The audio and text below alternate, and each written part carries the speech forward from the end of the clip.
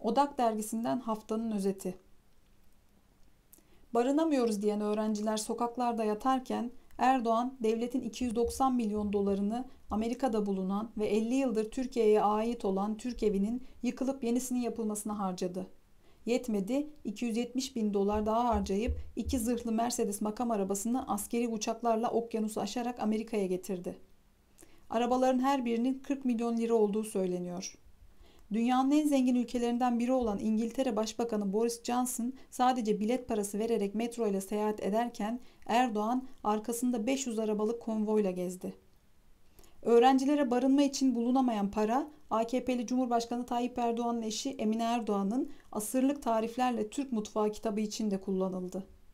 Kültür ve Turizm Bakanlığı bütçesinden Emine Erdoğan'ın kitabının basımı için 250 bin lira, tanıtımı için 700 bin lira olmak üzere toplamda 950 bin lira harcama yapıldığı ortaya çıktı. Geçtiğimiz haftaki özetimizde değindiğimiz beklenen barınma krizi, üniversitelerin yeniden yüz yüze eğitime açılma kararıyla birlikte öğrencileri derinden etkiledi. Ev kiralarındaki ciddi artış ve devlet yurtlarının yetersizliği nedeniyle barınma sorunu ile karşı karşıya kalan üniversite öğrencileri günlerdir sokaklarda sabahlıyor.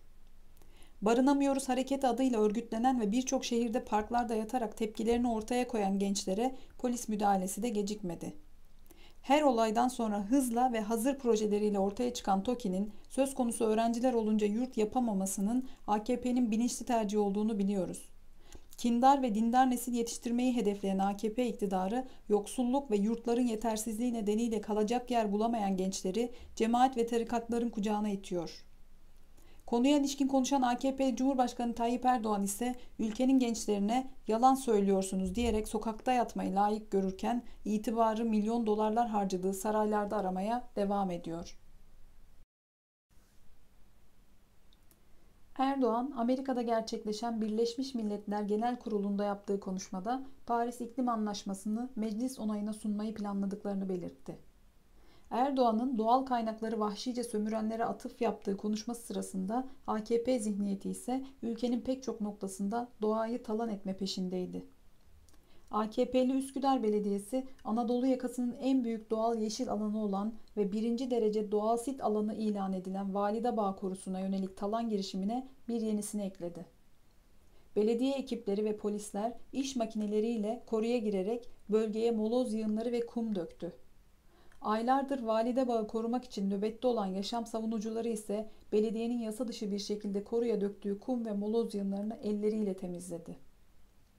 Yine aynı günlerde yaklaşık 5 aydır Rize'nin İkizdere ilçesinde yandaş Cengiz İnşaat'ın taş ocağı projesine karşı direnişte olan İkizderelilerin direniş alanına ise acele kamulaştırma kapsamında yıkım kararı verildi.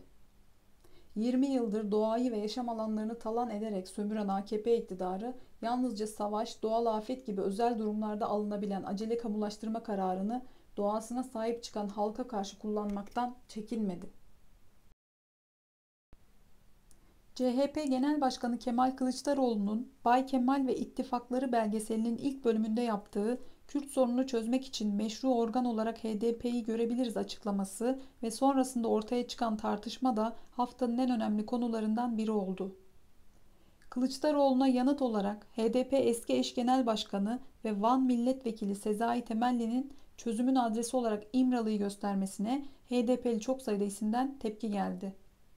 Temelli'nin ifadesine tepki gösteren Selahattin Demirtaş da HDP ve meclise adres göstererek tartışmaya dahil oldu. Kürt sorunu ve çözümü ile ilgili yürütülen tartışmalar üzerinden muhalefeti bölmeye yönelik beklenti içine giren saray ise yapılan açıklamalardan umduğunu bulamadı. Türkiye egemenlerinin bölündüğü Kürt sorununda şimdi de Kürt tarafının bölünmesi ihtimali güçlenmiş görünüyor. Geride bıraktığımız haftada dünyada da çok sayıda gelişme yaşandı. Rusya'da Putin'in tekrar seçildiği genel seçimlerde Komünist Parti ve yine solda yer alan Adil Rusya Partisi oylarını arttırdı. 2016 seçimlerinde %13,34 oy alan Komünist Partisi son seçimlerde 18,96 oy aldı. Rusya'da seçimler öncesinde dikkat çeken bir gelişme de ülkede düzenli olarak yapılan hangi siyasi sistemin Rusya için daha faydalı olacağına dair anket sorusuna Sovyetler Birliği'nin siyasi sistemi yanıtını verenlerin sayısında yaşanan artışta oldu. 2016 seçim döneminde bu oran %37 iken şimdilerde bu tercih %49'a yükselmiş görünüyor. Ayrıca Yuri Levada Analiz Merkezi'nin Ağustos ayında yaptığı ankete göre Rusların %62'si ekonominin devlet eliyle planlanıp dağıtılmasını isterken özel mülkiyete ve piyasa ekonomisine dayalı sistemi tercih edenlerin sayısı %24 ile sınırlı kalmış.